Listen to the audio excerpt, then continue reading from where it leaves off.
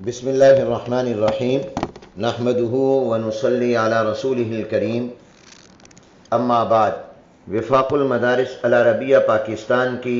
मरकज़ी मजलिस आमिला का एक अहम हंगामी और खसूस इजलास।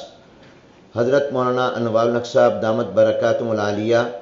नायब सदर अव्वल वफाक़ुलमदारस अरबिया पाकिस्तान की ज़ेर सदारत, जामिया दारूम कराची में मनद हुआ। इजलास में, सदर इजलास के अलावा वफाक़ुलमदारस अरबिया पाकिस्तान के नायब सदर हज़रत मौलाना मुफ्ती मोहम्मद रफ़ी उस्मानी साहब, दामद बरक़ातहम शेख़ुलस्लाम हज़रत मौलाना मुफ्ती मोहम्मद तकी उस्मानी साहब, हज़रत मौलाना मुफ्ती मोहम्मद तैयब साहब, हज़रत मौलाना कादी अब्दुलरशीद साहब, हज़रत मौलाना हुसैन अहमद साहब, हज़रत मौलाना मुफ्ती सलाहुद्दीन साहब हज़रत मौलाना डॉक्टर मोहम्मद आदिल ख़ान साहब हज़रत मौलाना ज़ुबैर अहमद सिद्दीकी साहब हज़रत मौलाना इरशाद अहमद साहब हज़रत मौलाना मुफ्ती मोहम्मद ताहिर मसरूद साहब हज़रत मौलाना इसलाहुद्दीन हक्कानी साहब हज़रत मौलाना मुफ्ती मोहम्मद नईम साहब हज़रत मौलाना फ़ैद मोहम्मद साहब हज़रत मौलाना कारी अब्दुलरशीद साहब हज़रत मौलाना मुफ्ती मतीउल्ला साहब हज़रत मौलाना मोहम्मद अनवर साहब हज़रत मौलाना कारी मुहिबुल्ला साहब, हज़रत मौलाना अब्दुल कुद्दूस साहब, हज़रत मौलाना मुफ्ती मोहम्मद खालिद साहब, हज़रत मौलाना अब्दुल मन्नान साहब ने शिरकत फरमाई। हज़रत मौलाना मुफ्ती अब्दुल रहीम साहब, हज़रत मौलाना मुफ्ती रफ़ीक अहमद साहब और वफाक़ुलमदारस के दफ्तर के नादिम मौलाना अब्दुल मजीद साहब ने भी खसूसी तौर पर इस इजलास में शिरकत की।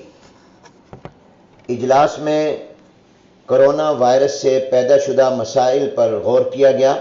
और मुफसल मशवरे और गौर व फ़िक्र के बाद मुतफ़ा तौर पर तय किया गया कि वफाक़ुलमदारस अरबिया पाकिस्तान से मुतल तमाम मदारस व जामियात में हकूमत पाकिस्तान के ऐलान के मुताबिक पाँच अप्रैल 2020 तक मुकम्मल तातील रहेगी और इस मुद्दत में जिन इम्तहानात का ऐलान किया गया था उन्हें पाँच अप्रैल 2020 तक मुलतवी कर दिया गया है। इम्तहान की मुतबाद तारीख़ों का ऐलान इन हालात के मुताबिक कर दिया जाएगा। इस दौरान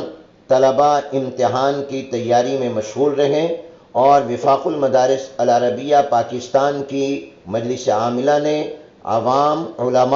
और आइम मसाजिद से जो अपील की है, उसे ज़्यादा से ज़्यादा फैलाने की कोशिश करें वमा अलीना इल्लल्बलाग